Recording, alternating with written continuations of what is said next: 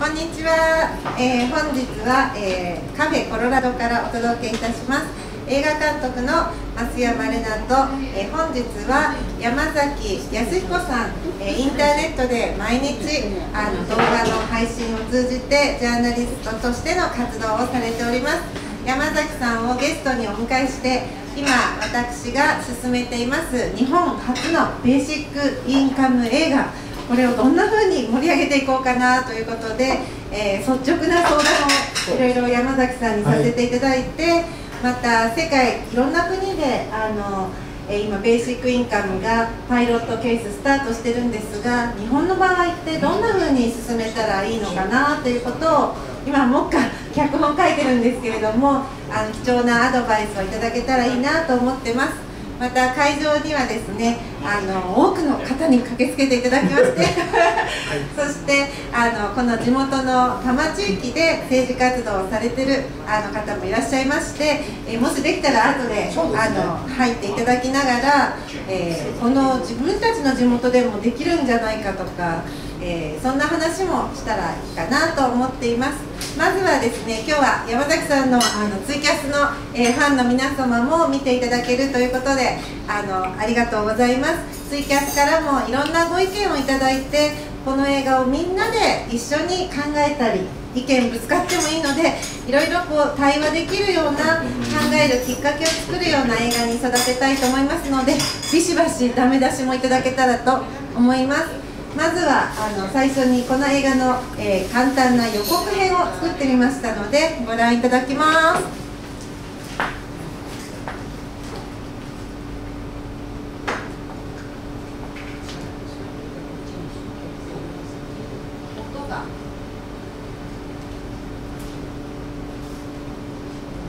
支配の社会になってしまうお金持ちの支配の社会になってしまうでどんどんあのその人たちが日本語の中で強いから自分たちのことをちょっと取って取りすぎて、え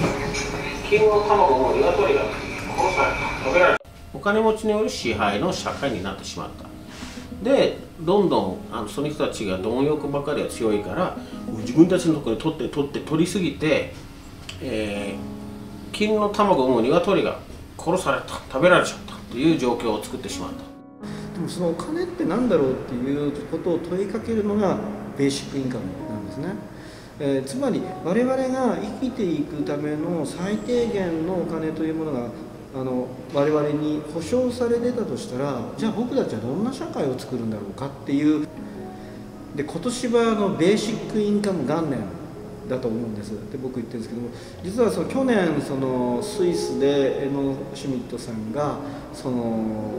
国民投票ベーシックインカムの国民投票っていうのをやですけれどもできてからそのも翌年ドイツそしてフィンランドアメリカサンフランシスコさまざ、まなところでベーシックインカムの実験が始まるわけですね。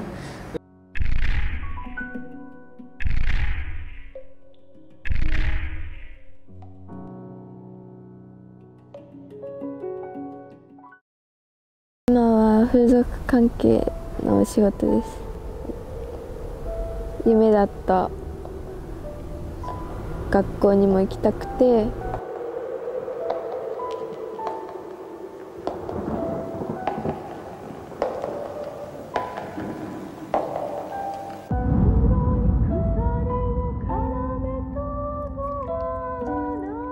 えー、お聞きしたいんですけれども、はい、あの安倍さんは日本にベーシックインカムが必要だと思いますか？そうですね。基本的にはあった方がいいと思います For struggle and civil war and all that what we will have the thing 民主主義とかキャピタリズムは特定のグループが支配する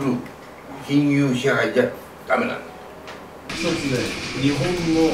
医療費を除く社会保障費っていうのは75兆円が1人5万円配偶者控除とか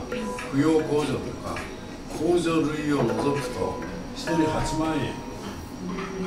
増税しないで支給できる。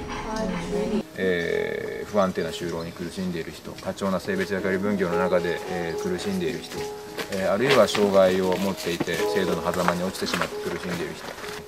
人根本の生き方さなぜ私たちこんなに苦しく生きているのかというところを変える、えー一つの大きな力がベーシックインカムにはあるだろうという。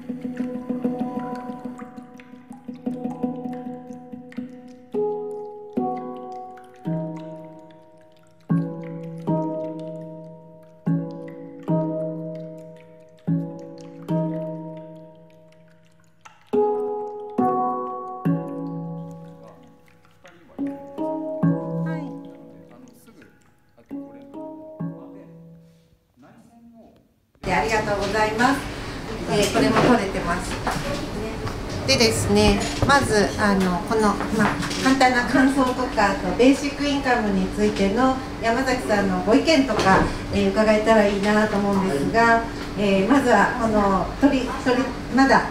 えー取り始めたばかりなので完璧なわけじゃないんですが予告編見ていただいてどうでしょうか？えっとまあ、この無条件のベーシックインカムに関して日本ではですね私は、まあ、日本国憲法これをあの国の最高法規ということでこれをベースにしてあのできるだけ物事を考えるというね、えー習慣を持ってですね。でこの小冊子、えー、と講談社から出てるやつこれをいつも身につけてるんですね。でこのベーシックインカムと日本国憲法との関係を言えば第25条の生存権ですね。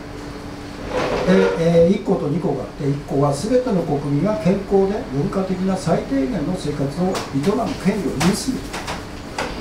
から2項で国は全ての生活部門部面について社会福祉社会保障及び公衆衛生の向上及び増進に努めなければならない。2つ素晴らしいこと書いてあるんですけどでもここで抜けてるのは要するにあのこの日本国憲法の第25条で理念として言われたことをそれは具体的にあの政府内閣が具体的な目標定めてやるってことが一切な何も決められてないんですよね。だから要するにエセラごとみたいな感じで理念だけ憲法の中に歌ってるけどそれを具体的に我々の国民の生活日々の生活の中でこれをいかにして具具体化するかっていうね方策が今まで70年間どの政権も言ってない。あるいはこの憲法自体をあの亡き者にしたいという勢力が今台頭してるわけですだからまずこの無条件のベーシックインカムを日本で導入する場合の基本的な根拠というのは僕は日本国憲法の第25条にあるんじゃないかということをやはりあのこの政策、えー、松山玲奈さんが今制作しようとしてる映画の中でぜひ取り入れてもらいたい。なということが最初の印象ですね。はい、私の方が声が大きい。こっちが。ああそうですか。はい。はい、あのおっしゃる通りで、その憲法25条で誰もが、えー最低限度に暮らせるということがもう保障されているにもかかわらず、実際には、えー子どもたち6分の1が貧困であったり、この学費のために大学進学、高校進学も諦めたり。そしてあのこの予告編にも入れたんですけど20代、30代では半数の方がブラック企業で働いている。そして、えー引退された後も安心しても暮らせずあの年配の方々にはあの貧困の問題がまた押し寄せてそして年金が今後安定して払われるかどうかも分かんないとなんか全ての世代がもういつ貧困に陥るか分からないという状況にあると思うんですよね。これが今憲法違反な状況ではないかと思います。実は山口薫先生という公共貨幣というあの本を執筆されて活動されている山崎あの山口先生はベーシックインカムには反対なんですけれどもでも山山口先生が提案しているビジョンは公共貨幣を作ってそして憲法25条マネーというのをファミリー単位で配ろうということを提案されててあれってなんかそれベーシックインカムに近い気がするけどなと。呼び名の違いではないかという気もするんですが、まあ、個人単位っていうのは、えおかしいと。ファミリーの単位でやるべきだというふうに山口先生おっしゃっていて私はいつ女性も離婚するかわからないわけですし男性もですけれどもこのファミリー婚姻っていうことに縛られすぎず個人に対して保障した方があの根っこの安定が生まれるのでその方がいいかなと思うんですがこの憲法25条ということとこのベーシックインカム実はすごくクロッシングすると思うんですがそこがまだ映画の中でも捉えきれていないですし、えーそれその問題について語ってくれる方もまだ現れてないなということで、えー、実行したいと思います。憲法学者がはい真っ先に言わないといけないんですよね。憲法第25条。はい。を具体的具体化するための方策として無条件のベーシックインカムがあるというふうに本来だったら日本の憲法学者がまず最初に言うべきなんです彼らは一切言わないなぜか言わないやはりそれぞれの分野で専門家の方がおられて憲法学者の方は憲法の専門家ではあるけれどもその金融の問題なんかはこう疎かったりとかその、えー金融の問題経済の問題も語る憲法学者の方って私が不勉強なのかいないですよね。本当はそういう方がいたらですねぜひ私取材をさせていただいてこの映画の中の重要なインタビューのシーンで紹介したいと思うんですけれどももし日本でそういったあの活動をされてらっしゃる方いましたらぜひあの声かけていただけたらと思います。またですねあの予告編を作る中ですごく難しいなと思ったのは先日、えーエノ・シュミットさんスイスで国民投票をあのあまず憲法に合わせてこのことも言いたいわ。というのはベーシックインカムをするには国民投票制度をまず日本で作らなきゃいけないというような考え方もあると思うんですよ。ただこの国民投票というのが今憲法改正についての国民投票運動と重なっていてそのじゃあベーシックインカムを導入するなら憲法を変えるための国民投票国民投票がもっとできるような憲法に変えた方がいいんじゃないかみたいな。だって憲法自身を変えようという力もあると思うんですがいや現状の憲法で25条があるんだから現状の憲法でもベーシックインカムは可能なんだということはあの、えーちゃんと伝えていかなきゃいけないなと思います。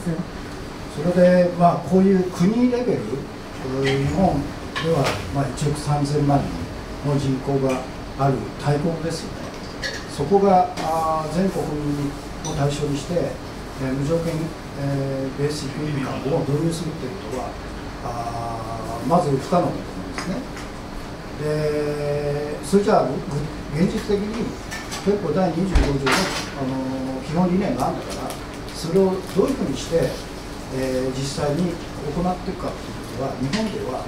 あ小さい自治体、いわゆる村とか町とか市とか、県単位だと何十万人になりますので、小さな地方自治体単位でやればできるはずなんですね。で、えーまあ、ベーシックインカムじゃなくないですけど、いわゆる小学校、中学校の給食の無料化、無償化っていうのを、お全国でおそらく今、3000ぐらいある地方自治体の中で、55の地方自治体がすでに実施してるんです。でそれは全部小さい村とか町ですよ。東京都の23区、あ20 23区はどこもやってないんですよ。世田谷の、あのえっ、と、誰でしたっけ？宇坂さん。彼のところもやってないですね。でぜひやってもらいたいと思うんですけど、すでに、えー、と55の小さな村、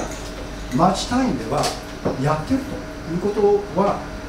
ベーシックインカムも、まあ、最初から月20万とかね、まあ、無理としても、月、例えば5万とか7万とか、そういう単位でやればその、えー、と小さな、まあ、私はあの山梨県の山形小村という6900人の小さい村なんですね。村民の一人なんですけどそのぐらいの単位だとあの村長および議会が頑張ればできないことないですね。いつか私は、まあ、松山玲奈さんがあの去年、えっと、参議院選出て9万票取られたということなんでぜひ地元？ここですよ。ね、えー、で、えー、まああの市会議員あるいはあ市長のこの公約ベーシックインカムをどうあの実験的にやりたいあるいはあ中小学校中学校の給食を無償化したいというようなことを具体的に僕は小さいあの自治体の単位であれば可能です憲法を改正するとかそういうことは一切必要なくてやればいいんですよ。と思いますね。ありがとうございます。あの私もこの、えー、自治体レベルからのパイロット実験ということをドラマの中で映画の中にドラマを設けるんですけれどもこのドラマでは何を描きたいかというとある、えー、町で、えー、ベーシックインカムが日本で最初に始まったよ。そこで暮らす住民たちがどんな風に変化していくのか。予告編の最後の方に出てきたのがそのドラマ部分にあたるんですけれども実はこれ私のこの地元日の出撮ってるんですよ。このカフェコロラドさんで待ち合わせをしてですねそこからスタッフと出演者の方あの大島ハ子さんっていうあのカンヌの映画祭で2011年に、えー、主演として川瀬直美さんのあの映画で主演で出られまして今年のアカデミー賞の候補となったあのマーティン・スコセッシ監督の「沈黙」にも出演しておられる映画祭は、えー、数多く出ておられる方なんですけど彼女がシングルマザーの役なんですね。沈黙とあの遠藤周作のはいそうなんです、ね、あれの映画化ですよね。台湾で撮ったらしいんですけど、はい、3か月かけて撮ったということで本当世界的な監督とお仕事をされてる女優さんが、えー、主演で出ていただいてであとその娘役の愛車役をうちの娘の愛車さんに演じてもらってるんですけどこの自分たちが住んでる町からベーシックインカムが始まっていく。これをこうドラマで傍観してみるっていう見方じゃなくてぜひこの映画を作るところから皆さんと一緒に考えていきたいなという思いがあるんです。あのこのドラマの舞台実はですねこれも悩んでいて、えー、最初江ノシュミットさんは日本中札幌東京神奈川大阪、えー、神戸あ大阪京都そして、えー、福岡沖縄でご講演されて日本中回られたんですね。その中でやはり日本で最初のベーシックインカムが島でこう経済がこうクローズしていてしかもその貧困の問題もある沖縄がいいんじゃないかというアドバイスをいただいてたんです。なのでじゃあ最初沖縄を舞台にしようかと。で大島さんにも沖縄弁をちょっと撮影日までにマスターしていただいてあのこの方にじゃあ沖縄弁レクチャーお願いしようかとかいうことまで考えたんですけれどもちょっと待てよと。あのまず伊波洋一さんに相談した時にこう基地を作る時に沖縄ではこの住民の方にお金を、えー、払うということがあって、えー、それによって住民の方が割れたりそして沖縄に今ある基地の問題を本質をずらされる恐れがあるんじゃないかというご意見をいただいたんですね。であと私自身が本土に出身の人間で役者とスタッフ、えー、連れて沖縄で撮影をしたとしてなんとなくこう運動を根付かせるよりなんかこうパッと行ってパッと撮ったっていうことになって趣旨も誤解されたら困るなとも思って今考えてるのは架空の街。この街はあの日本中で見ておられる皆さんの住んでる街かもしれないという設定であの、まあ、言葉は標準語に近い形で演じてもらおうかなと思ってます。そしてこうそういった撮影や、えー、脚本を書いたり皆さんエキストラの方も含めて今度6月の10日に代々木のオリンピックセンターの国際会議場を押さえていましてここで第1回目のそのエキストラの方参加者の方200人の方をちょっと満席にしたくてですね。そこでえ住民説明会のシーンを撮ろうと思ってるんですよ。ある日主人公のもとに手紙が届きます。であなたの町が日本で最初のパイロット実験のあの住民、えー、町になりましたと。つきましてはどういったことが今後起こるか説明会を行いますので、え、こちらにお越しくださいと。で行ったらそのオリンピックセンターで、えー、200人ほどの住民がいてベーシックインカムを海外でも進めてる方の報告であったりとか、えー今後どういった形で実験がスタートしていくのかナミビアやインドでは貧困がなくなり全ての人が学校に行けるようになったりとかあと女性が今まで口座というものを持ってなかったらしいんですよ。インドの女性って自分の口座を持ってないんです。でファミリーの中の妻とか嫁とか、えー、そういった、えー、形でしかなかった方が自分の口座を持ってそこにお金が入ることでこう自立心というかそういうものが生まれてきたりとかあとアルコール中毒者の方が減ったりとか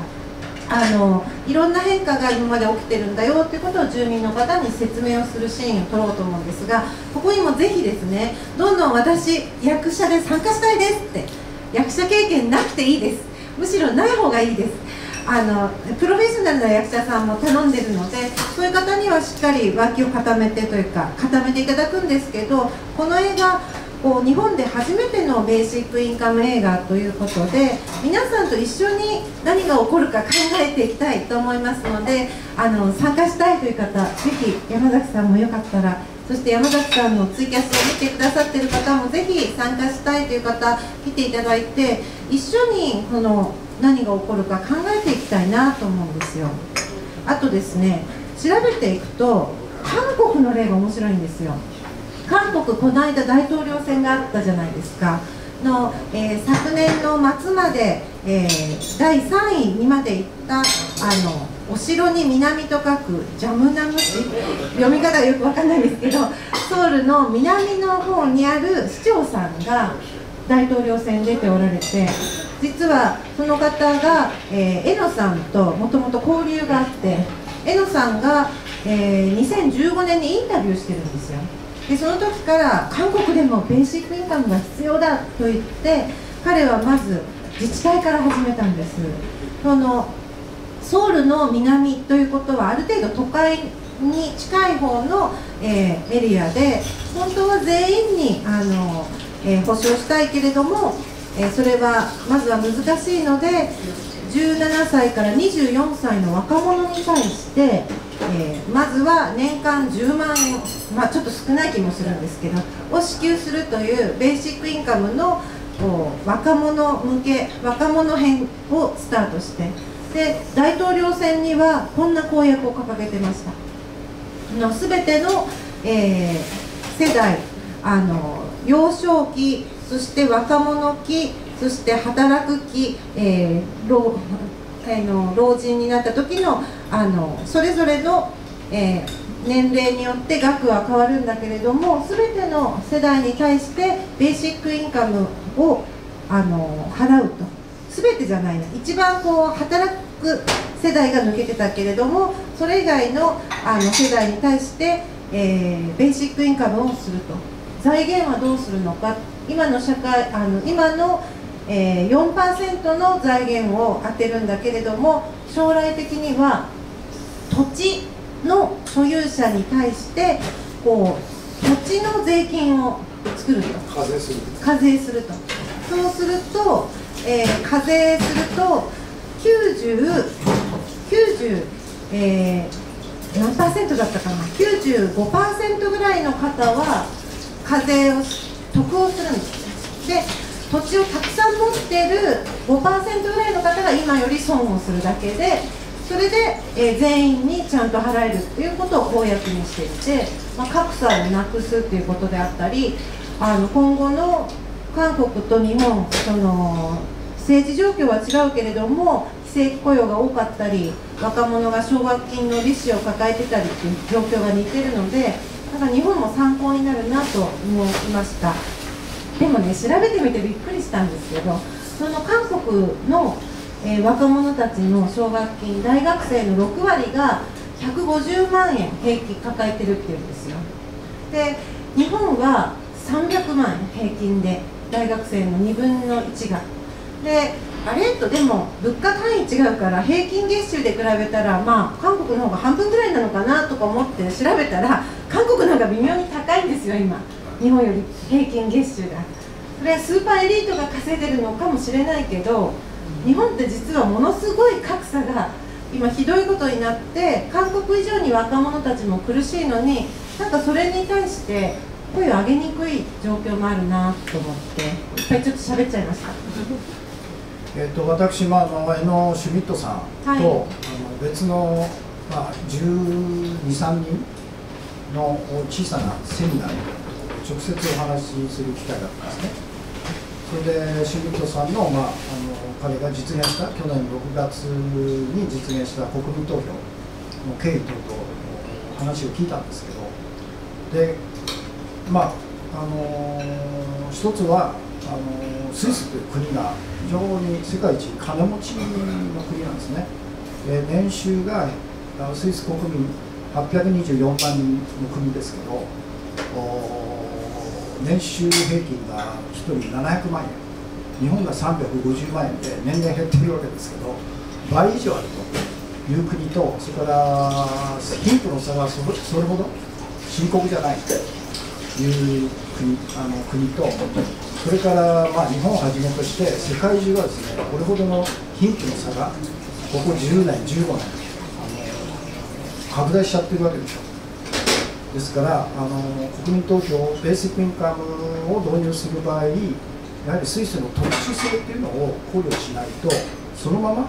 あの日本あるいは他の国で導入しようとしても無理じゃないかということを僕は直接彼に言ったんですね。で僕としてはあのまあ、段階を2つに分けてで1つは例えば日本であのベーシックインカム、えーの場合はあの年収240万月収20万、えーに満たない人たちに対してその差額を政府が支給するという第一段階が必要じゃないかと。例えば専業主婦の場合はあのゼロなわけでしょ？年収が。で夫に、えー自分の経済的なあベースあの財源を頼っているということはあ非常に危険なんですよね。ですからあるいは非正規労働者年収240万にならない人とか失業者とか高齢者とかいう人たちに対して政府がその差額をね、えー払うあのベーシックインカムとして払うというのが第一段階で必要じゃない。そして同時にあの富裕税を導入するとかあるいは企業に対してのあの累進課税えーあるいはあ所得税に対しての累進課税。かつては75%の累進課税を日本はあ適用してたんですよね。それが今あ30%ぐらいになっちゃってるということで、あるいは宗教法人に対する宗教活動おに対する課税をするとかですそういうことでできるだけあの貧富の差をなくすような政策を同時にしてで第2段階としてある程度貧富の差があの縮まったということが分かれば第2段階として例えばあ 1, 億、えー、と1億3000万のうちに1億人がまあ成人ですよね。と月20万240万。そうすると240兆必要なんですね。そして、えー残り3000万人の人たちがまあ未成年の人たちに対しては月5万円、とえー年60万円。そうするとお18兆円。だから全部で、えーいくら？201億あ258兆円の年間の予算が必要だというふうになるわけですね。それじゃあその財源どこにどこから来るのという話になるんですね。でシュミットさんに直直接聞いたら財源は別途法律によって決めるというような国民投票の時の提案だったと思うんですけどでも、えー具体的にあの朝日新聞等々の報道によるとスイス政府は年間22兆円の、あの予算が必要なんで到底そんな財源があの出てこないんで政府としては反対したというような報道があったのでおそらくこれが真実じゃないかと思うんですね。そしたら日本で258兆円の財源を毎年確保するにはどうしたらいいかという話になるわけですね。ですから既存のこの体制の中で258兆円なんか到底出てこないんですけどで私が日頃言ってるのはいわゆるあの信用創造特権として、えー、日本銀行が1万円札を吸ってでアベノミクスの中で、ー、この4年間に毎毎年100兆円400兆円すりに吸ってそれほとんどを金融機関に流してるだから実体経済の方にお金がいかないからあのデフレ不況がずっともう26年間続いてるんですね日本の場合いわゆる先進国の中で、えー、平均の経済成長率が1%以下の先進国日本以外ないんです。よ26年間もずっと続いてるそれはなぜかというと信用創造特権としての特権を日銀あるいは政府あるいは民間銀行がお金を作ってそれをほとんど金融経済の方に回してるということの結果がこういうふうになってるんですね。ですから例えば日銀のその動線している通貨発行権これを国会の方に、えー、移管する国会というのは国民が一番反映しているところですからアメリカの合衆国憲法というのは国の通貨発行権というのは合衆国議会にはちゃんと書いてるんですよ。でも実際は FRB という100%の民間銀行が発行しちゃってるということなんですけどで日本の日本国憲法には誰が通貨発行権を持ってるかということは一切書いてないですね。それで、えー、歴代自民党政権が作った日銀法を改正して日銀が銀行券を発行するという一行を付け加え付け加えて合法化してるわけでしょ。それとあと政府が毎年100兆円の国債を発行して民間銀行に引き受けさせて、えー、元本の保証とそれから利息を払って毎年24兆円もの国債費を税金から払ってるんですよ。それをもうやめさせると。政府から国債発行権をやめさせるだけで、24兆円も節税できるでしょ。そして100兆円もいらなくなるということ。でそれから最大の信用創造としては民間銀行です民間銀行があのいわゆる、えー、我々一般、えー、国民の預けたお金、えー、例えば私が1万円をあの銀行に預けますとその1%準備預金利率がずっと1%なんですけど1%を日銀のに予託するわけですね。だから1万円に対して100円を予託するとたちまち1万円の100倍の信用創造が生まれるわけですよ。金融機関でそれを利子付きで貸すということで彼らは利益を得ていると。それで信用創造ですから最初はあの通帳マネーですね。通帳にあの100万円という生まれた預金者の預金の1%を予託することによって自動的に創造されたお金100万円がのいわゆる印字された幻のお金なんですけどそれを貸すことによって、えー、みんなせっせせっせと毎月現金が払うでしょ。銀行に。そうすると銀行は何年か経つと100万円を実際のお金として回収するわけですよ。最初は幻なんですよ。でも何年か経つと借金した人が一生懸命働いて返すわけですよ。利子付きで。そうすると銀行は無から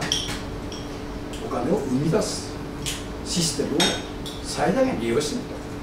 とそれが準備預金制度というね。ほとんどの人が知らないですねこのからくりをで政治家も知らないです誰も知らないですよ。で経済学者もわざととぼけていうことで。ですからこの3つのね信用創造特権をあの廃止すれば年間300兆円の財源というのが出てくるんですけどでそれはもう政府を変えるとか大きな仕組みが必要なんですよね。でもそれに最終目標としてはすることで、えー、国民税に対して240万円を支給すると。それから2000人に対しては月5万円60年間60万円の子ども手当を支給するということは可能なんですそれは最終目標だけどそれに通過するためにはさっき言ったような段階が必要じゃないまずはエゴを自治体レベルからとその世界で行われているパイロット実験の、えー、ケースを見ていてもやはり小規模の町や村からというケースが多いですよね。ででまだその全国民に対してベーシックインカムをスタートした国というのは世界のどこにもないわけなんですけれどもでもその特に2016年の6月のエノ・シュミットさんの国民投票運動から加速度的に進んでいるのは確かなんです。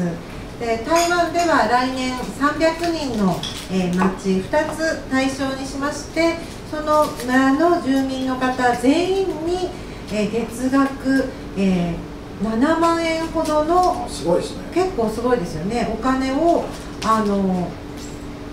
2年間2年間か3年間スタートするそうなんですね。でそれは一つは一つの村はこの、えー、ベーシックインカムのインターナショナルにサポートする、えー、チームが、えー、やると。ファンディングを市民からも集めてやると。でももう一つは台湾政府がお金を出してやるっていうんですから結構本気ですよね。でカナダでも、え、これからあの、えー、パイロット実験がスタートするということであのいろんな国で少しずつスタートしてます。また文藝春秋から25日に発売される、えー、著書がオランダの29歳の作家さんが書いた本が日本こう日本でもベーシックインカムを進めようというような内容でまだ予約をしたんですが中身読めてないんですけれどもあのまずはパイロット実験を進めるべきだというような記事が出てましてこれが今アマゾンで昨日見たらベストセラー1位になってるんですよね。なんか今時代がそのベーシックインカムということに近づき始めてる状況があると思います。台湾の運動の話を聞いてへえと思ったのは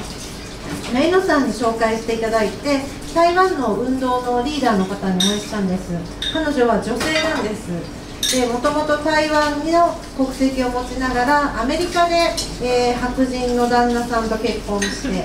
でもその結婚生活しながら、えー、ピアニストとしての活動もしていろんなとこで、えー、コンサートするんだけどそれはお金にはならなくてで養ってもらいながら表現活動をしてたと。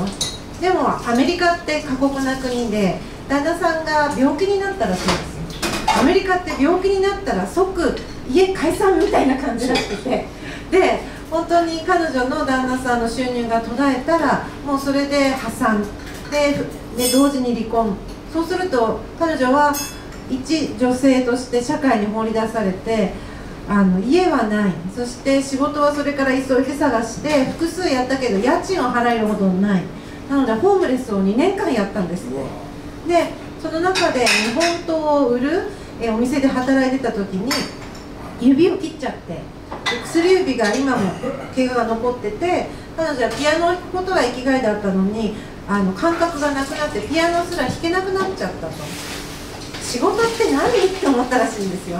どうして私はピアノが生きがいだったのにそれはお金にならなくて暮らすための仕事によって生きがいであるピアノを奪われなきゃいけないの？そこでとても落ち込んだ彼女はじっくり考えてベーシックインカムという考え方にあの到達したと気がついてそのあの全ての女性にはベーシックインカムが必要なんだという活動を始めたそうなんですよ。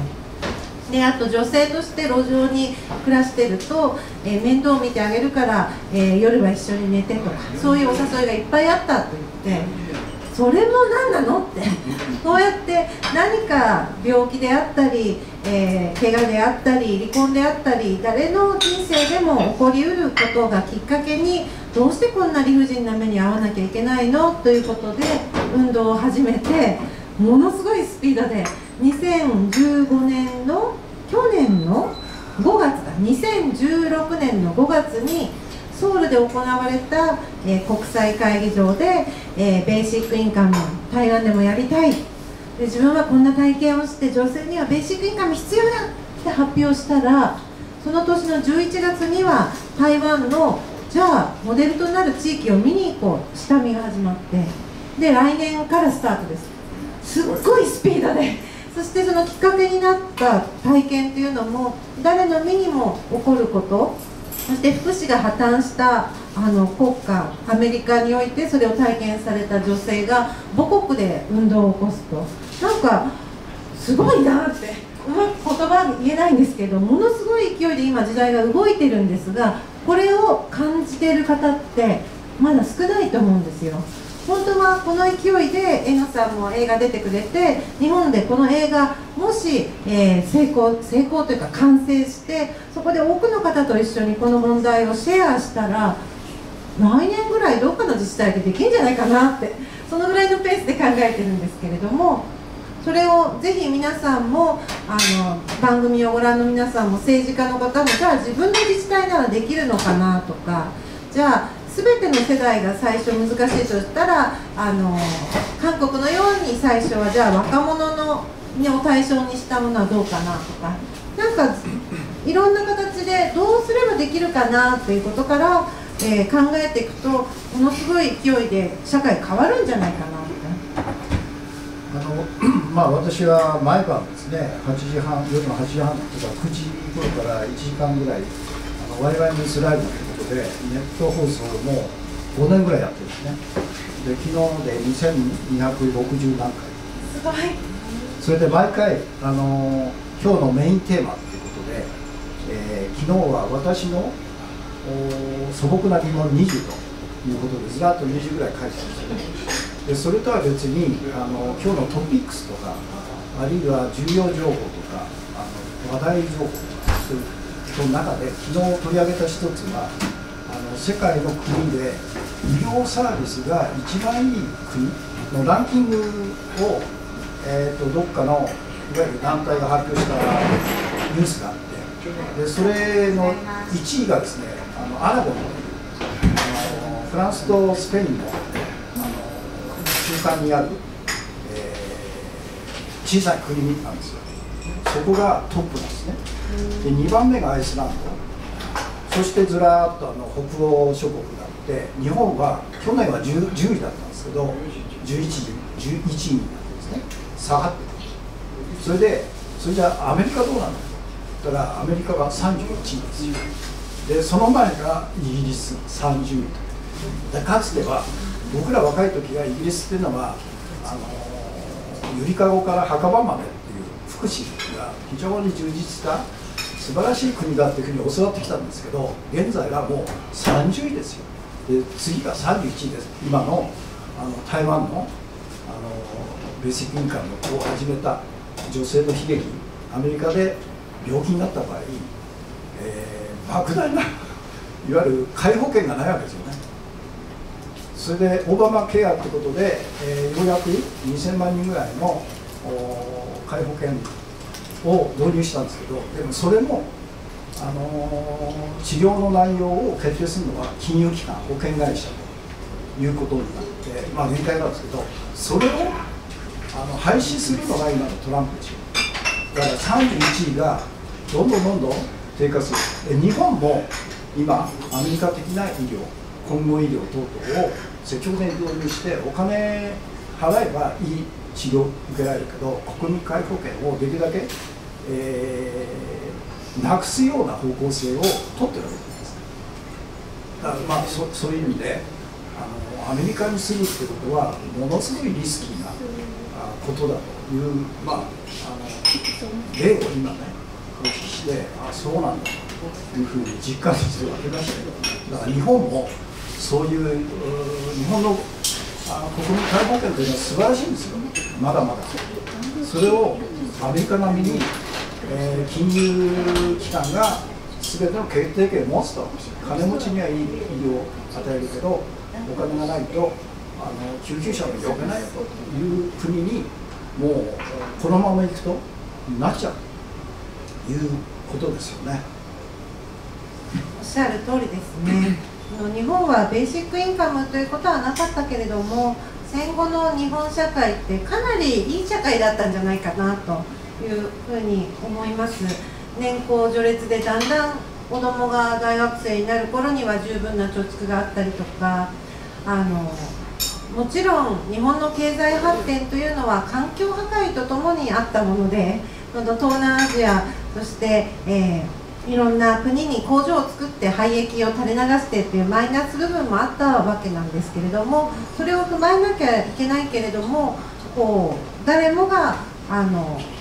安く病院に行けて暮らせるという意味ではすごくいい社会だったと思うんですよね昭和ってでも今平成で平成に入ってからほとんど成長がなくて、えー、貯蓄がない世代があ3分の1の方が貯蓄ゼロと。私の周りにもいっぱいいますし私自身がかなり危ういです。でも今のこの社会をなんとかより住みやすいものにしていくためのベーシックインカム議論をしたいなと思っていてでベーシックインカムだけが解決する問題ではもちろんないと思うんですけど例えば全ての社会保障をなくしてあの山田雅彦先生はあの全てベーシックインカムに置き換えたら月5万円。でいやあのそれは最初は5万円というなんで、えー、扶養者控除を含めると8万円。っていうことを言ってましたけど財源はあるって言ってたけれどもやはり今のあの日本の、えー、医療費であったりそういった福祉を全部なくして全部ベーシックインカムっていうのは現実的ではないなと思いますね。そうですよね。はいですから、まあ、シュミットさんのそのスイスでのベーシックインカム無条件のベーシックインカムを導入するための、まあ、国民投票という前提として、えー、彼が言ってたのは貧困撲滅の対策ではない。本来の人間が働く労働する意味は他人の役に立つための労働であって、えー、それがまあ隠されちゃうでベーシックインカムを導入すれば本来の労働の意味があ取り戻せんだという非常に哲学的な話をしてたんですけどでも日本あるいは他のいわゆるこれだけ貧富の差が激しい国の中でそのような哲学的な理念だけでは到底僕は実現できない、まあ、言ったんですよね。それからあのあそれで重要彼の話で非常に参考になったのはスイスっていうのは直接民主制がすごい発達してるんですね。ですからあ10万人以上の署名を集めていわゆるイニシアチブを政府に提出すれば政府はあ2年後には国民投票かける。政府が責任を持ってやる。たとえ政府が反対したとしても今回もそうですよね。反対してたんですよねスイス政府でも実現するんですね。でそれは憲法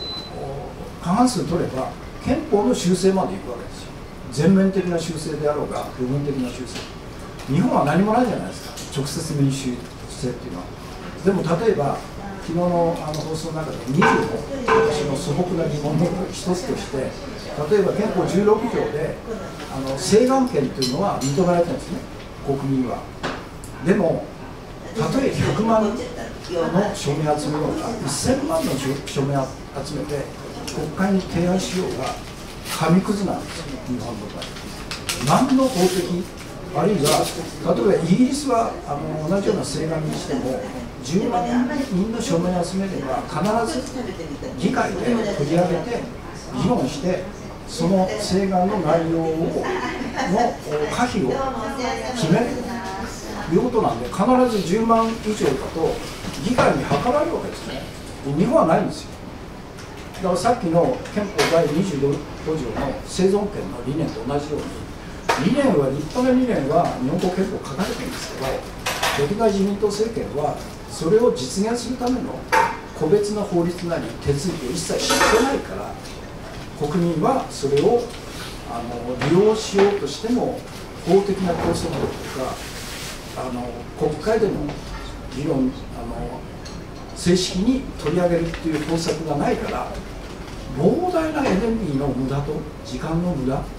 やってるわけですよね。本当それをどうにかしない。でそれを、あの、例えば10万人以上の請願はあの国会の議論にして、えー、その内容を、あの、必ず答えを出すと。いうようなことを例えば野党の議員が法律を作って提案すればいいんですよ国会に。で野党の議員はなぜか自分たちが、あの、法律の規範権を唯一持ってる存在だってことをほとんど知らないんですよね。本当。内閣じゃないんですよ。内閣が法律の規範権を持って今回の共謀罪昨日も衆議院の法務委員会で強行採決してで来週23日あの衆議院の本会議でまたしても強行採決しようと思っているわけでしょあるいはこの間の秘密保護法戦争法案あるいは盗聴法の拡大とかですね等々は全部内閣の出向してる警察官僚外務省官僚あるいはあの防衛省の官僚が作るわけですよ。自分たちが法律を作って作った後は自分たちが取り締まるというとんでもないことを彼らは平然とやってるわけでしょ。で僕はいつも言ってるように憲法第41条に国会は国権の最高機関であり唯一の立法機関である。国会が唯一の立法機関であるということは国会が唯一の規範権を持っているということでしょ。で国会に提案して審議して採決する。議員立法っていうのがあります。だから唯一の法律の規範権は日本国憲法で41条で、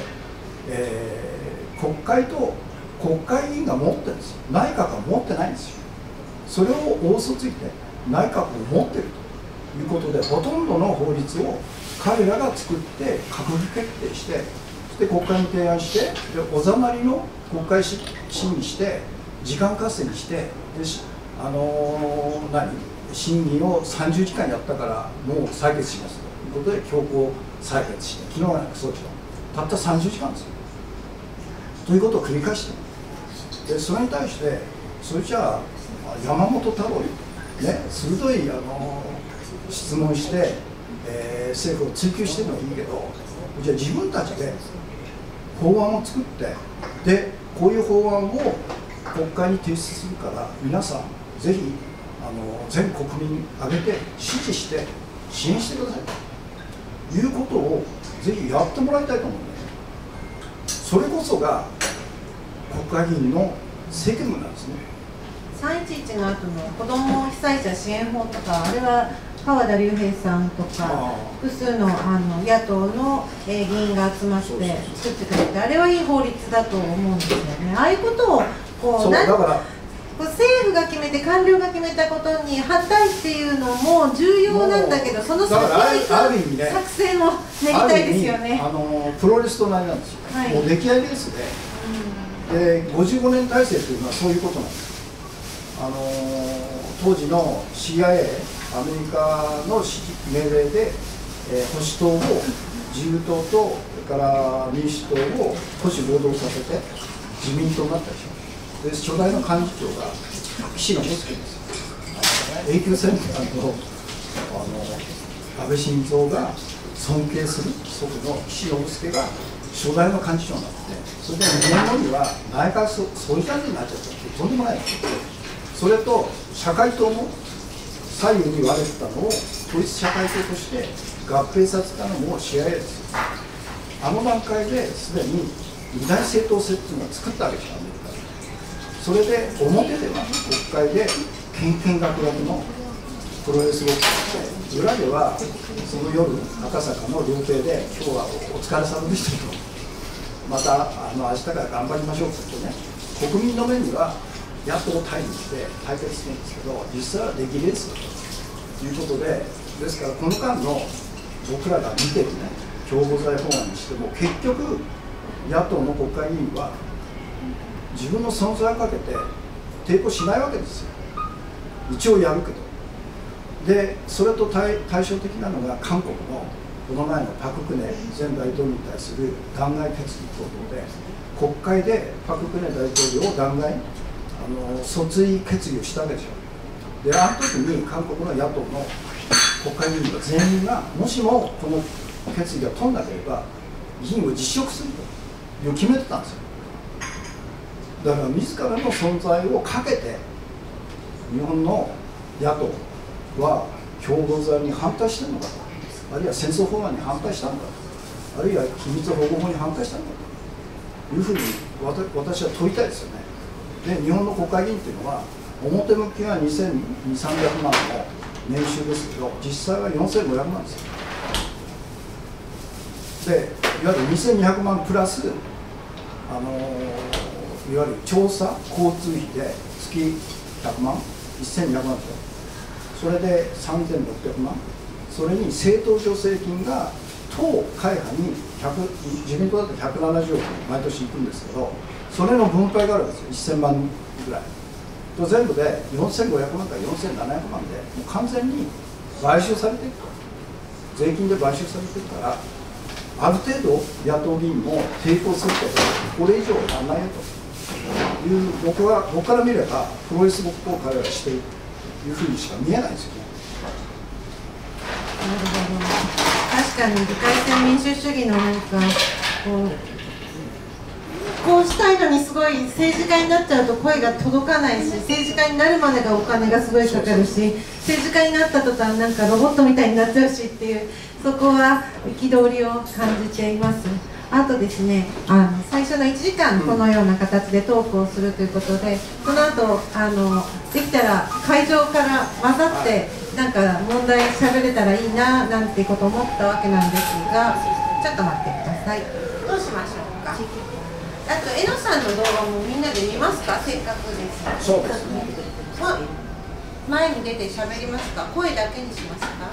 声だけ声だけの方がいいんじゃないですか？マイクを回しますそうしますか、うん、小川さんはもう市長市長選にも出られて国立でもぜひということで。それじゃ前になんか前にあありがとうございます。じゃあえのさんの動画を、はいはい、えー、えのさんから預かっております。その国民投票運動すごくユニークな形で、えー、行われたここに座っていただいて私パソコン作業もするから。それを見ていただきながら国立から素敵なゲストが来てくれまして。こんにちは、えー、小川ひろみと申します。山崎さんにお目にかかりたくお話に伺いたくも参りました。あの私はさっきの市長選国立、人口があの8万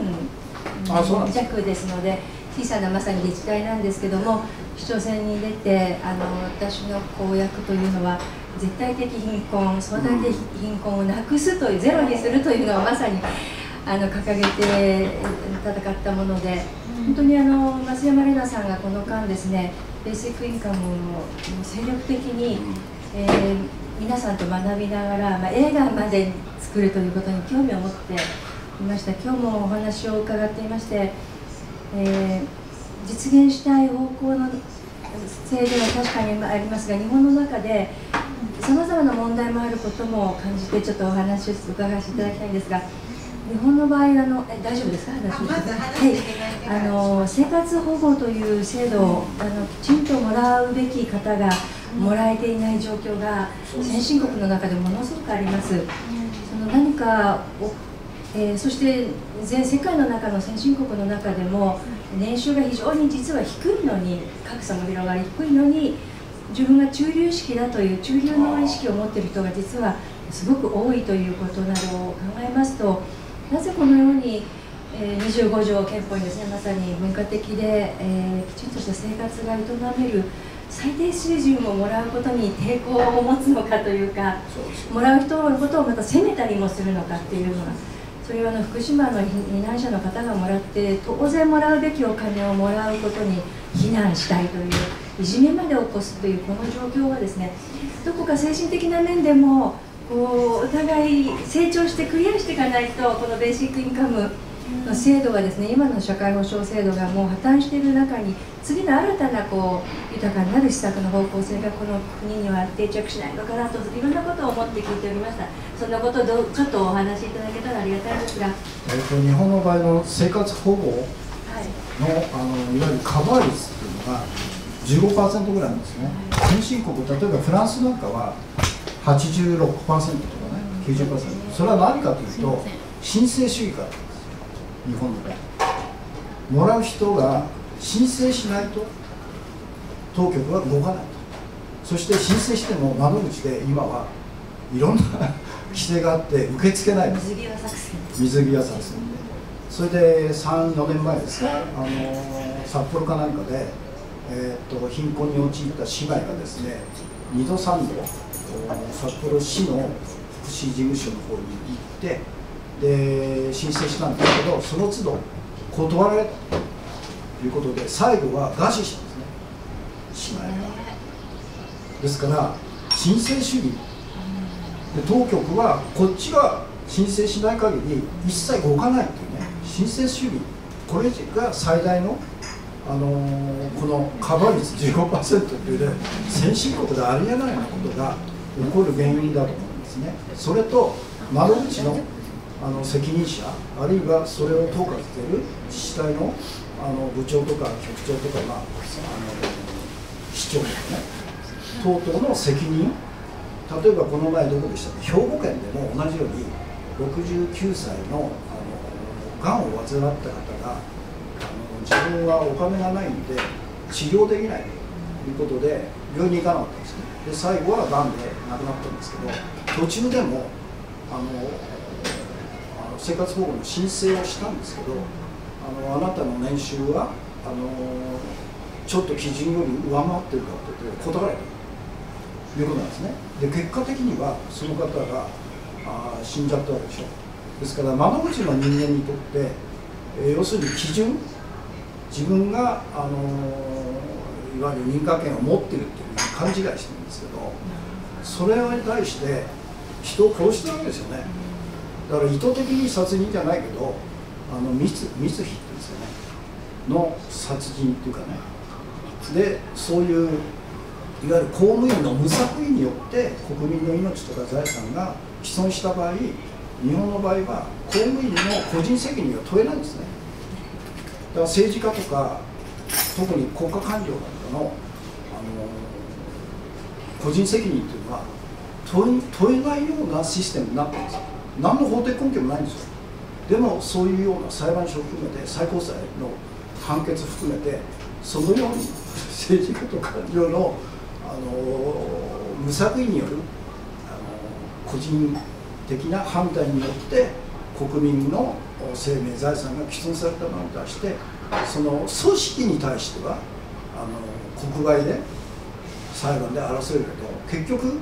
国が負けても税金ですからね自分たちの懐は一切痛まないというシステムの中で回っちゃってるわけですよ。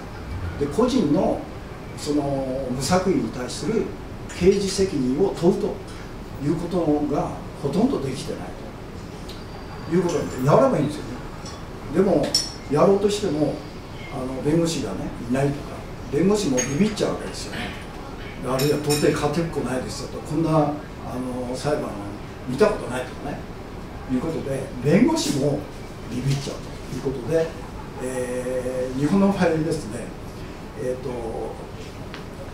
どれほどひどいかっていうかね裁判のあれ実例としていわゆる行政訴訟ってあるじゃないですか。違憲訴訟とかあるいは行政の誤りによって損害を与えたという行政訴訟の年間の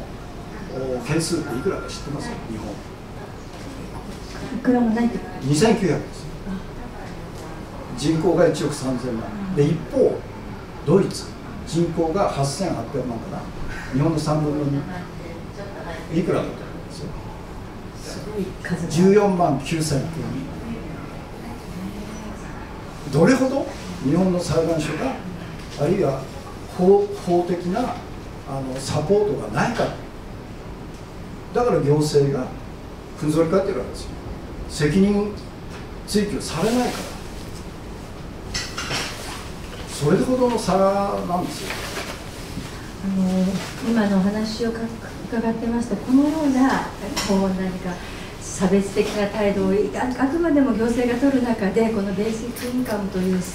理念を含めた実践がですねきちんと行われるために一つ一つですね段階を踏んで進めていきたいなと本当に思いました。あすいません。私は途中で参加してしまいましたんであの頑張ってください。はいありがとう。あの江ノシュミットさんから借りてきた、あのあの映像をぜひ見せていただきたい私も今日初めてこの場で見せていただきますのでよろしくお願いいたします。ありがとうございましたさん、あの小川ひろみさん、ありがとうございます。あと、まあ、もう一回呼ぶかもしれないんですけど、あのエドさんが繰り返し繰り返し出た無条件であるということ、あと、その、えー貧困層対、えー富裕層の戦いにしちゃいけないということを自分なりにこう咀嚼しながら考えてるんですね。で、まあ、それをえのさんの動画を見ながらちょっとお話ししたいんですけれども、なこの例えばこう貧困層の救済のためだけではないはずなんですよ、このベーシックインカム。の今、お金を持ってる1%の方って友達にあんまりいないんだけれども、それでも200万ぐらいの家賃を払ってる友人とか最近できて、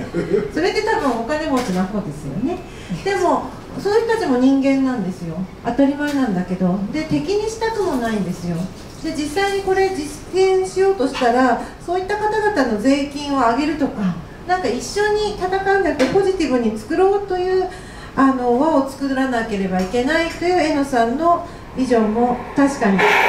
いなと。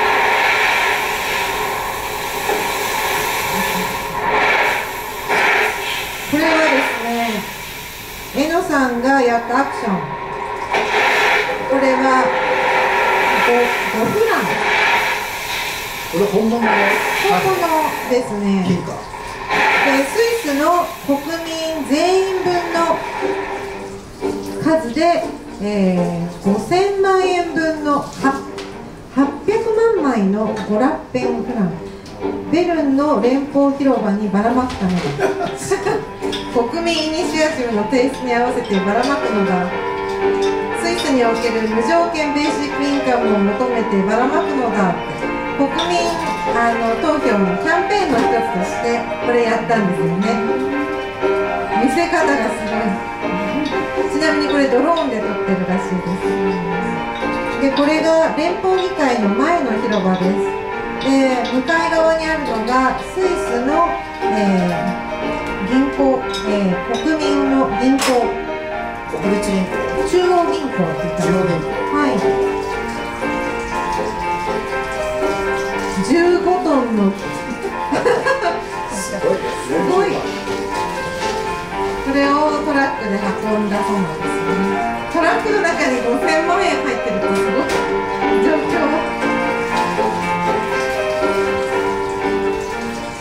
これドローンで撮ってるんだ。これドローン。こう見せ方がうまいんですよね。もともとエノ・シュミットさんは現代芸術家でその商業芸術の世界で成功していたそうなんです。だ。だからこう映彼像ドイツ人ですよね。ドイツ人だけれども国民投票の制度があるからスイスでやるすごいですよねスイスってそう考えると。でこれをばらまくと。でみんな仲間が待ってて。はい今からばらまきますってあごめんなさい。どこ行っちゃった。どこ行っちゃった。どこ行っちゃった。どこ行っちゃった。一番だ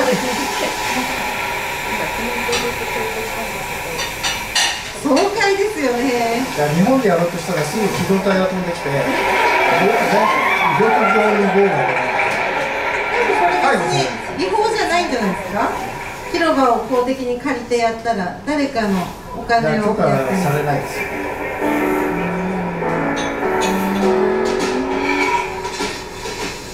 さんこういう仕掛け作りがうまい、うまいね彼ね。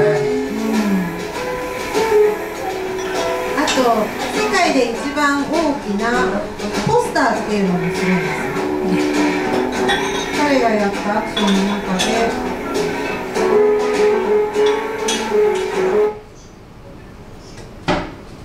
でみんな確かになんとか反対っていうネガティブな感じにやってるっていう。この辺が日本も私たちも真似すべきポイントだなって思うんですよ。どんな風にしたらいいのかな？これは何かと言いますと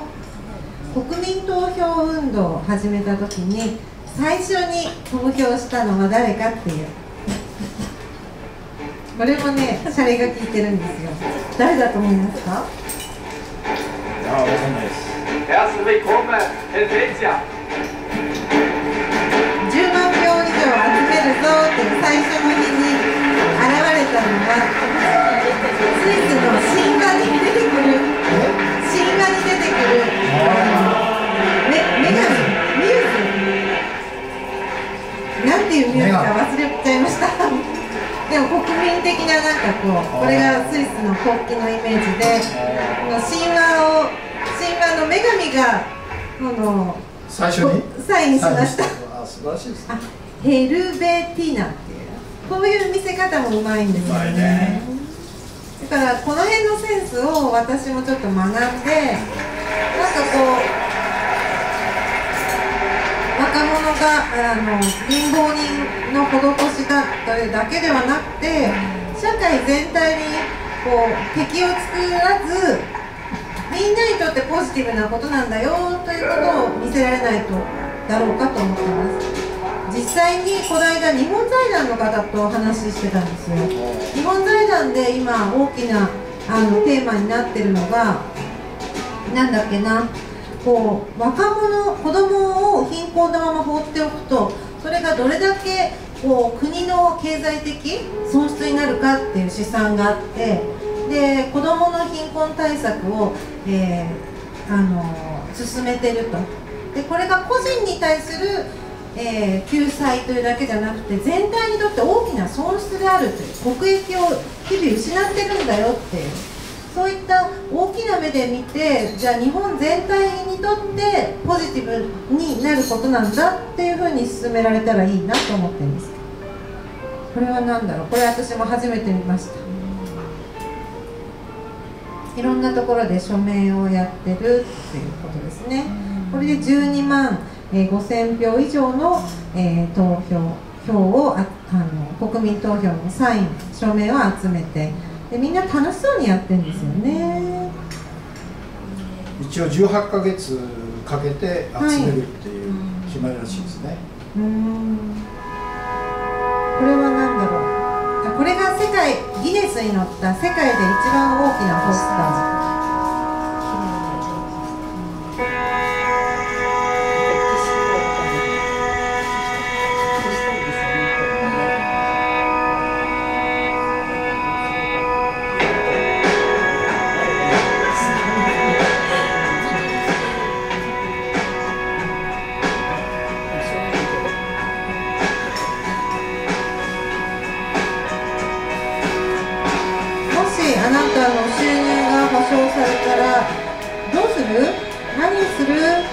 が書かれていて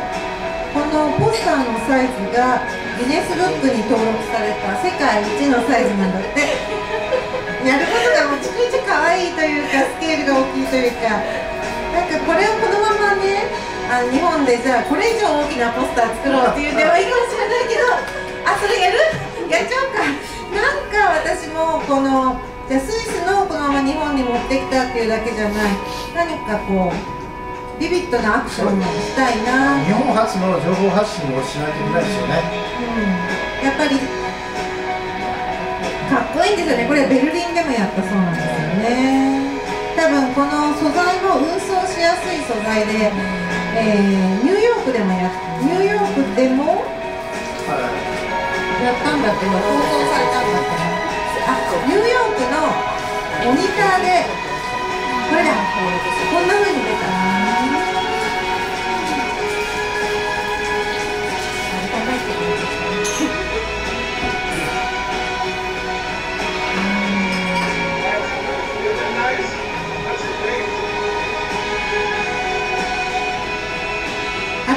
ベーシックインカムのあのスイスでのキャンペーンカーがあってそれがあのテスラっていう車種で、えー電気自動車なんですよ。電気自動車の高級車みたいなそれを真っ金色に塗ったんですって。で実は、えーこの日の出撮影をしたあのベーシックインカムの撮影の時にその、えー、えのさんが成城のお家から日の間で車で来てくれたんですけど送迎をしてくれた車がちょうど同じ車種だったんですよ。でその方はリチャードさんってあの、えー、あの光の速度で情報を発信したりとかあと LED を駆使して京王ビルを丸ごと電気を、えー、系統を入れ替えることによってコストカットとエコエコロジーにとっても地球環境にとってもいいっていうサービスを提供している会社の社長さんなんですよ、はい、でその方があの車であの運んでというかドライブしてくれたんですけど江野さんは大喜びで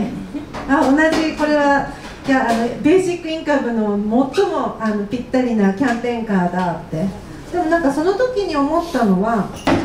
リチャードさんもおそらくお金持ちかどうかで言ったらめっちゃお金持ちだと思うんですよ。はい、でもそういった方々が敵っていうんじゃなくてなんか一緒に作るっていうことをやりたいなって思っていてで思ったのはじゃあそのよかったらもう一回来られますいいですね。どどうぞどうぞ。はい。えー、あの思ったのは。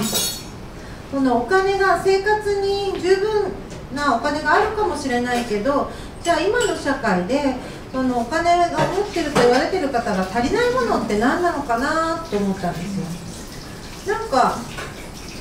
こうアメリカもそうなんですけどそのいざ病気になったら、えー、すぐ貧困に陥るかもしれないとかなんかあと自分だけが勝ち残ればいいやとかじゃあなんか周りはみんなその財産を狙ってくるかもしれないとか。じゃあそういう人たちにとっても何か足りないものがあるとしたらその人たちにとっての足りないものもこのかえこう補えるというか探せるというかそういった未来図って何なのかなって。それをドラマの部分でも表現したいなと思ってるんですよ。で漠然としたですか？やはり哲学っていうかあの私まあ一つの信条として宮沢賢治のね、はい、世界全体が幸せにならない限り自分の幸福はありえないということを彼言ってるんですよね。ですから自分の幸福だけをあるいは自分の家族自分の知ってる仲間だけ幸せになれば他の人は関係ないよというのが、まあ、今のいわゆる新自由主義あるいはネオコンとかね戦争派の考えででこの前あの去去年おととしかなあのムヒカ大統領ねあのウルグアイ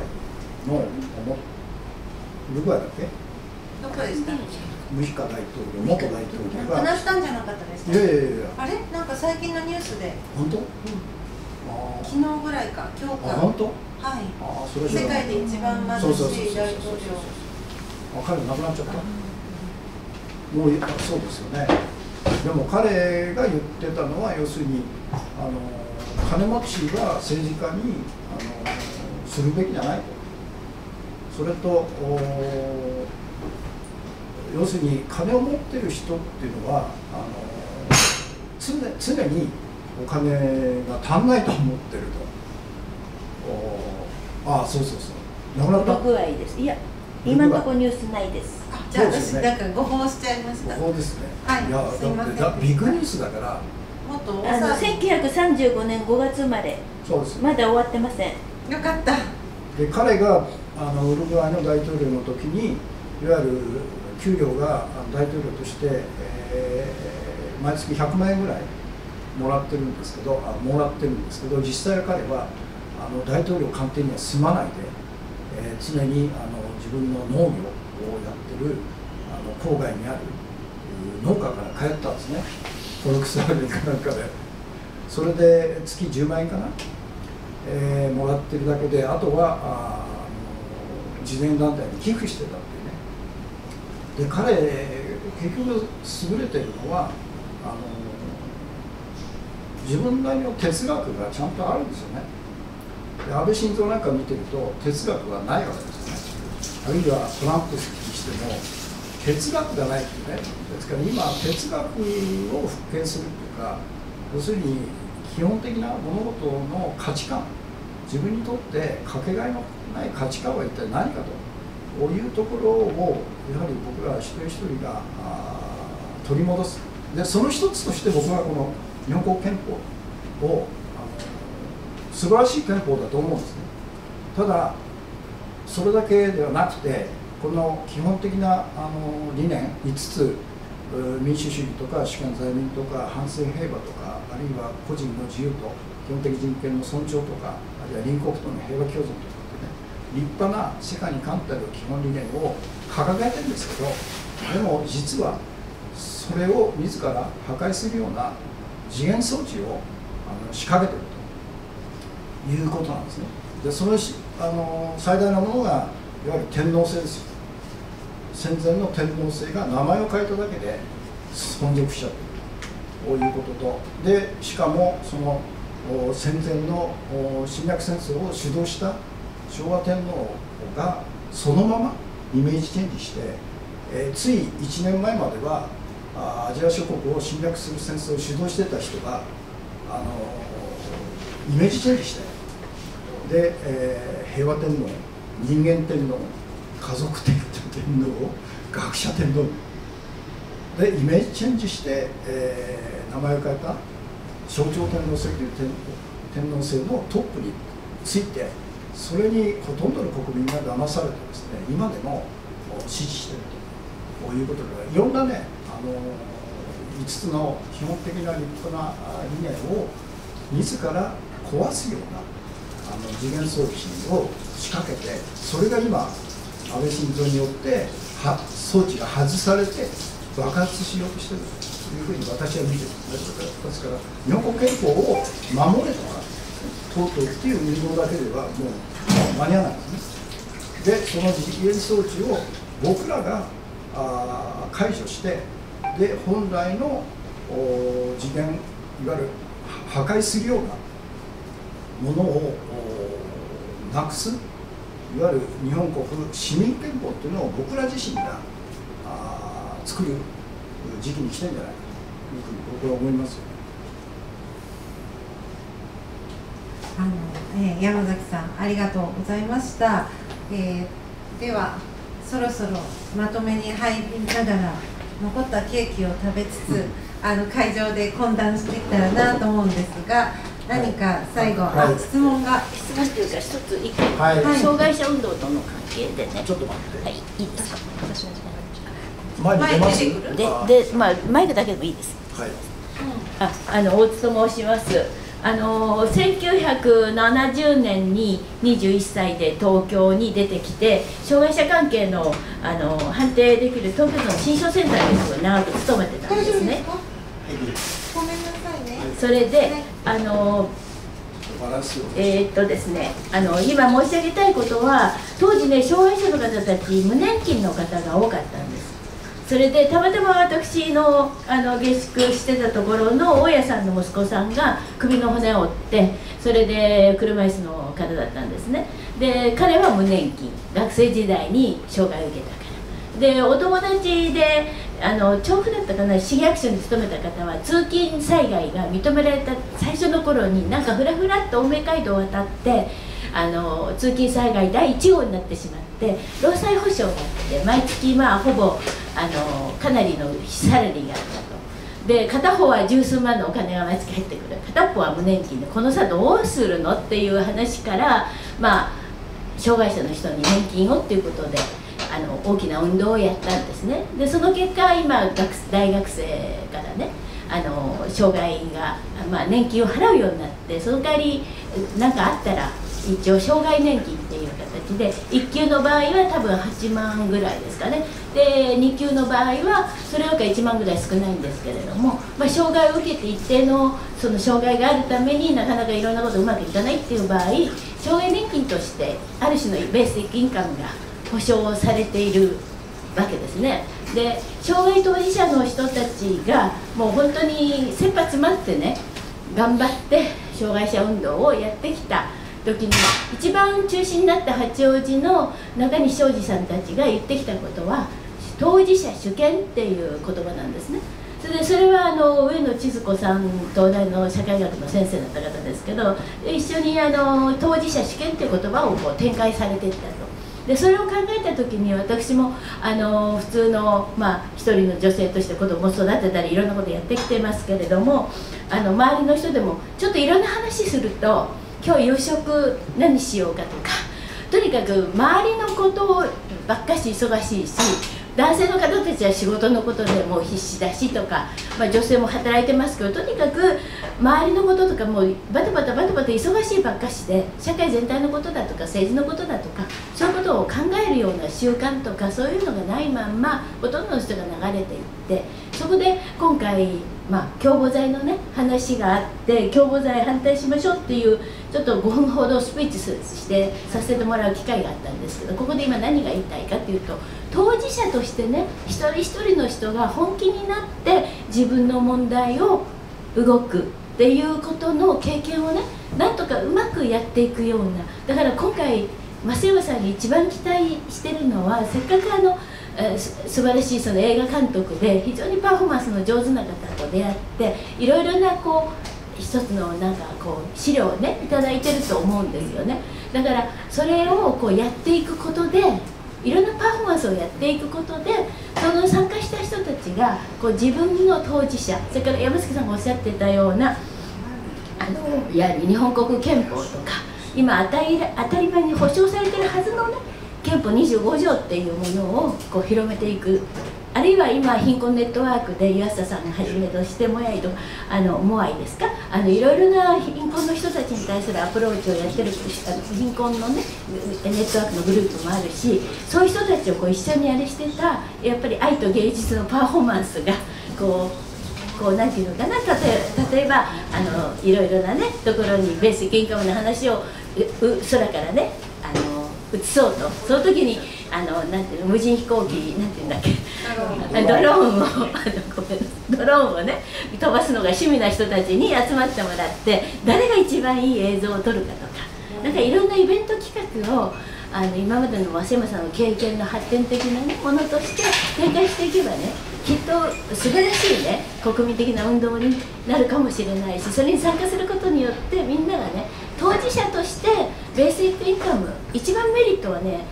福祉の現場のね役人さんたちがこの人に生活保護をあげるとかあげないとかねそんな判断をしなきゃいけないようなんじゃなくて本当に必要な人がねみんなもらえる権があってその人たち仕事いらなくなるじゃないですか。判断しなくたっていいんですよ。みんなだってそれから1人暮らしの人がたくさんいたら45人集まってね7万円のベーシックインカムまあ、とてもすぐにはねそんな20万とかそこんなとこ行かないと思うんだけど例えば5万でも56人一緒に集まったら一軒家借りてみんなで協力してね新しい別に普通のね血をつながったファミリーだけじゃなくてもいいじゃないですか。いろんな形のね多様化に対応できるっていうねベースができるんですよね。っていうようなことを すいません読むいろいろ期待してます。ありがとうございます。あの大津さんにねお電話でその矢島君とかそのの今までの家族？という価値観旦那さんが稼いで奥さんが専業主婦かパートで家を支えてでお子さんがいて家は持ち家これが完全体であってそうじゃない人は負け組みたいななんかこの価値観を壊すような、えーストーリーを考えてほしいってお電話で教えてくれたじゃないですか。そうあれがすごく印象的で確かに今結婚しないせあの選択をする方がすごく増えていてでそういう方にとってじゃあ今までの結婚制度や子供をその中で血縁関係の中で育てるっていうことだけがゴールだとすると自分は何かそこから外れたようなすごい疎外感を感じられると思うんですけどそうじゃない新しいつながり方をこのベーシックインカムが起こる街の中でのストーリーとして盛り込んでいきたいなと考えてるんですね。今言ったシェアハウスの例はすごくいいかもしれないですね。でも実際にシングルで、え年齢を重ねていってじゃあ老後どうしようかっていう問題って本当に切実な問題として私の友人も、え多く抱えてるんですけどそういう方々がこう「おかえり」って言ってもらえるようなただいまって言えるような場所それは別に婚姻関係の先になったってもいいと思うんですよね。なんかそういういろんな方々にとって新しい暮らし方や価値観を考えるきっかけの映画に育てていきでまたこの映画今レディー4っていうところでクラウドファンディングをしてるんですがそこにコメントを寄せていただいてもいいですし Twitter や Facebook そのアースアートファクトリーの、えー、制作、えー、会社のホームページも新しく作りましたしあのいろんなところでアイデアを送っていただいて皆さんと一緒にこう考えていく勝ちと負けが最初から決まっていてこう勝つ勝ちに行く人はもう後ろは見ない。で気が付くとなんか一人ぼっちみたいなそれもまた寂しいと思いますしいろんな方が一緒に考えられるあったかい場を作ろうとそういった運動があの今日ここから始まって実は同時にいろんな日本のいろんなところで始まってそれがだんだん声が大きくなって地方政治を変えそしてえ国会も変えってなんか上から下へっていうんじゃない新しい考え方やあの人生の作り方をこの映画を通じて問いかけていきたいですし自分自身も学んでいきたいなというふうに感じてます。いろんなところ読んでいただけたらあのベーシックインカムのえのさんの予告編も含めてあの話に行きたいんでぜひ読んでください。そして皆さんの声を届けていただき一緒にいい映画ができたらいいなと思います。あのまあ、最近の傾向としてあの勉強会とかあるいはセミナー等々が個人ベースで自宅を開放してね10人とか15人で、えー、その都度講師を呼んででこの前、えー、たまたまあの呼んでいただいたのが東京新聞の編集局長の菅沼さんという方がいて東京新聞が、まあ、共謀罪反対とかあるいは原発あの反対とかね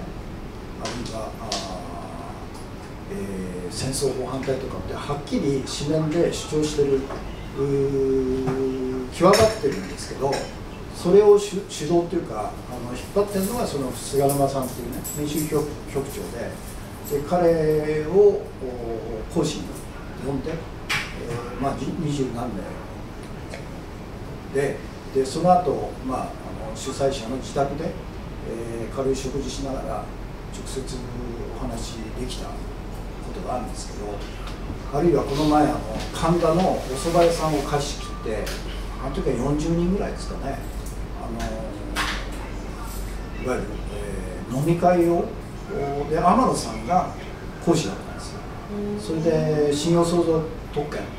とかあるいは陰謀論とかですね その辺の話をおあの天野さん元康さんをメイン、ゲストにしてで私も呼ばれて参加したんですけどでそういうね今までないような個人ベースで勉強会開くとか、あるいはセミナーをあの開くとかそういう動きがかなりあの出てきてますね。ですからそういう場に、まあ、自分でもそういう場を作るとかあるいは参加するとかという中でこのベーシックインカムあるいは松山さんのこの映画作りを広めていくということが大事じゃないかと思いますよね。あの若い方いらっしゃるのでいかがでしょう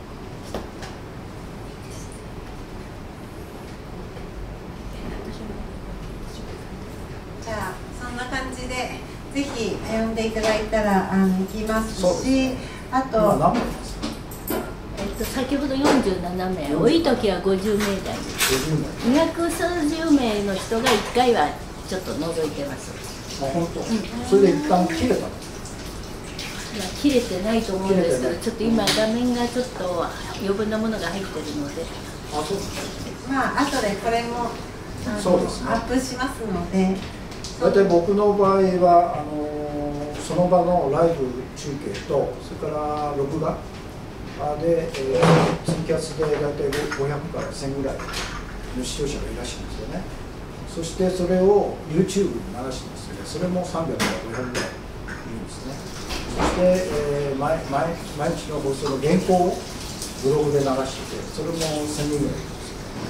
ですからかなりまあねイベントが今やってますので、えー徐々にその我々が持つ武器ですよね。ネットを使ったいわゆる情報発信が徐々に広がってるなという感じがしますよね。はい、あ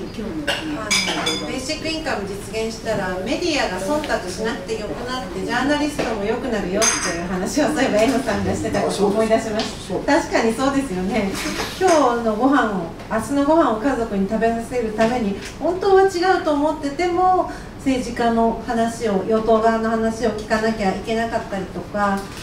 お寿司おごってもらうぐらいでさ 新年曲げなきゃいけないなんて心が貧しいと思うんですよ本当に。なんでそういった心が豊かになる社会を、えーどうやったら作れるのかっていうことを考えていきたいと思いますぜひあの6月10日の撮影にも来ていただきたいですしあとレディー4でなんとか今45%まであの目標額の45%まで来ましてあと38日ということなんでぜひ3000円からご支援を承りますのでぜひ応援してください。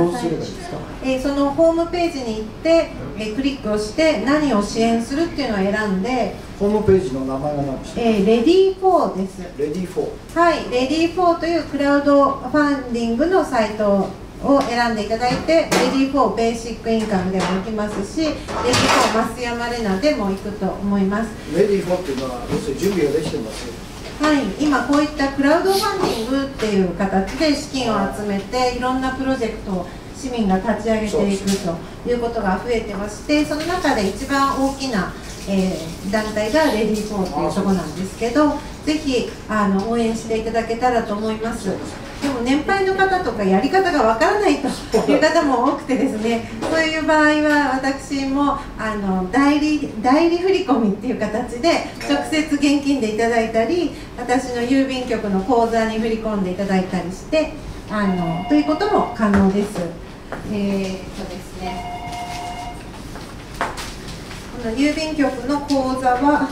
えアースアートファクトリー14200525533えー428店番428これは？これ052533直接こうベタっと貼り付けあそうですね、まあ後で貼り付けてぜひあの応援いただけたらと思いますのであの力貸してもらえたらと思います。今日は本当に、はい。あの放送を見ていただいてあの会場来ていただいてありがとうございました。今日はあの会場にはまあ10名以下の人しかいないんですけどこのネットを通じてはい。おそらく1000人2000人ぐらいまで行くと思うんですよね。そうですね。これが我々のうん。武器ですよ。本当に。私もななんかなかなか言えないことを今日、えー山崎さんとお話しさせていただく中で台本の中で悩んでること株がはい、すごい喋り喋りやすくて。タブーなしさすがのあの情報量と知識の蓄積があってすぐいろんなことが出てきてすごいなと思いました。今日は本当にありがとうございました